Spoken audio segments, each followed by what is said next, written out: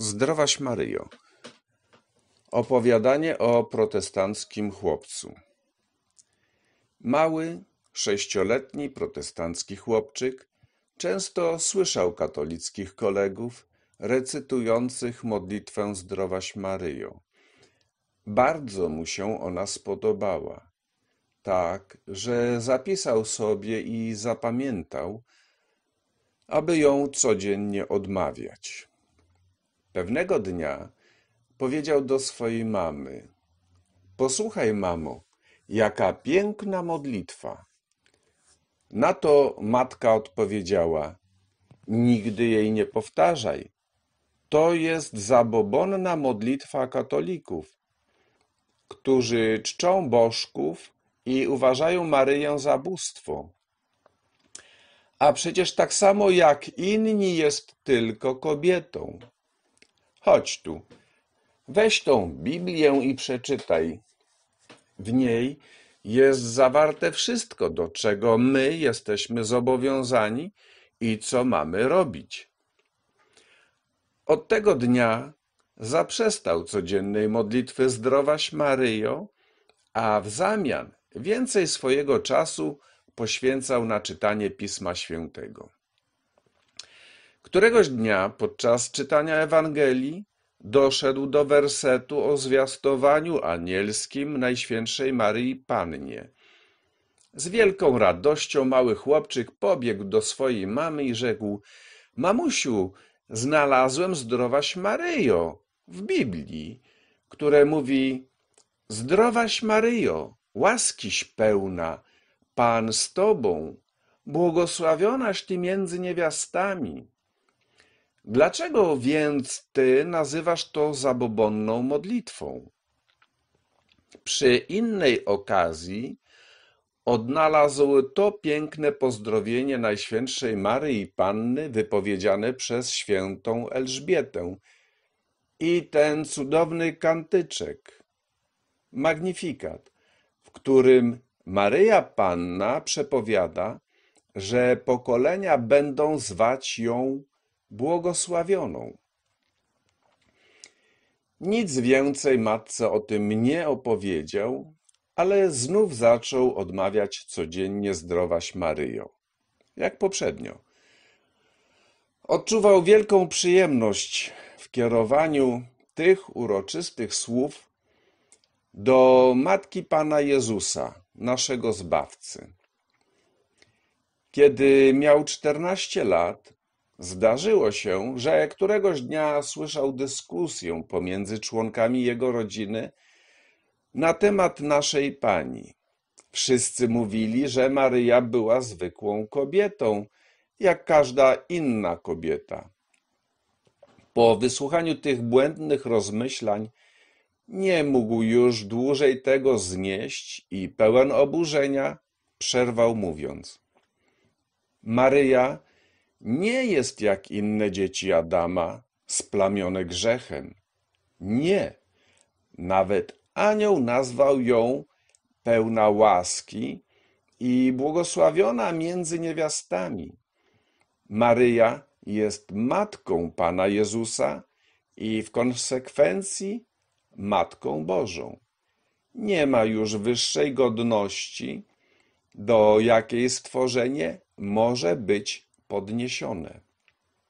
Ewangelia mówi, że pokolenia głosić będą ją błogosławioną, a wy próbujecie pogardzać nią i patrzeć na nią z góry?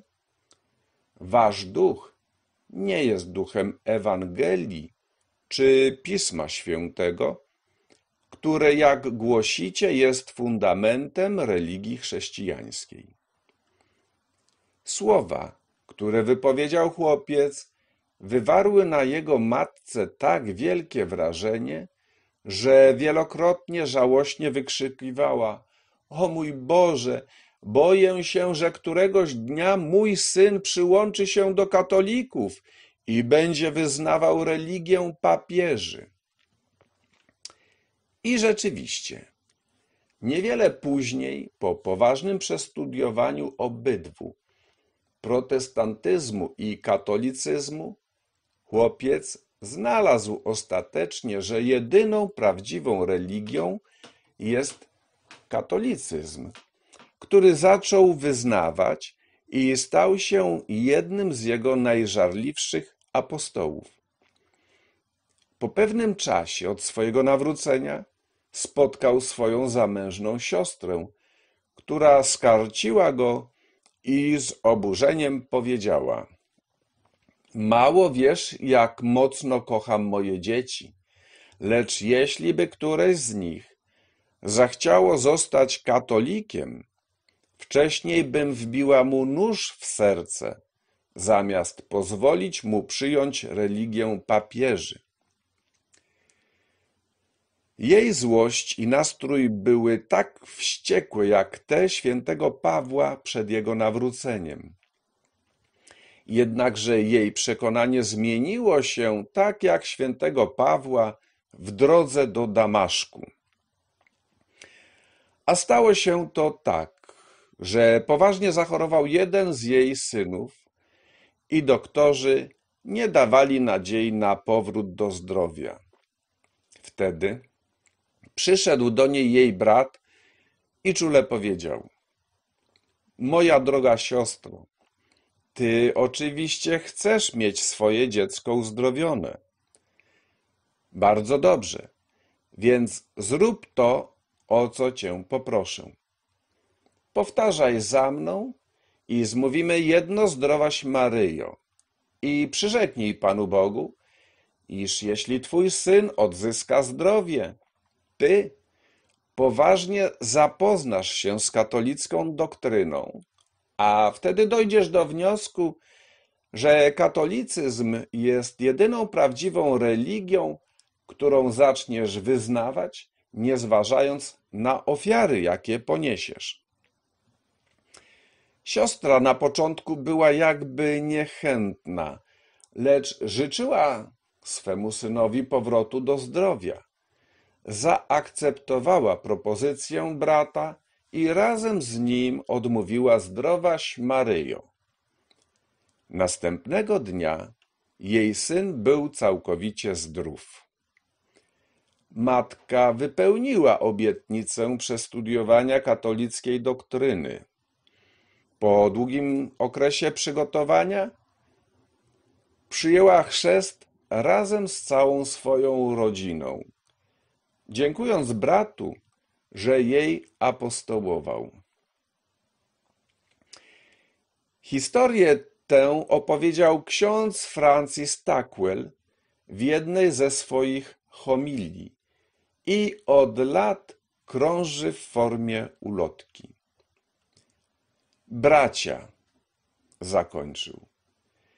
Protestancki chłopiec, który został katolikiem, i nawrócił swoją siostrę na katolicyzm, całe swoje życie poświęcił służbie Bogu. On jest kapłanem, który teraz do was przemawia. Tak wiele zawdzięczam Najświętszej Maryi Pannie, naszej Pani.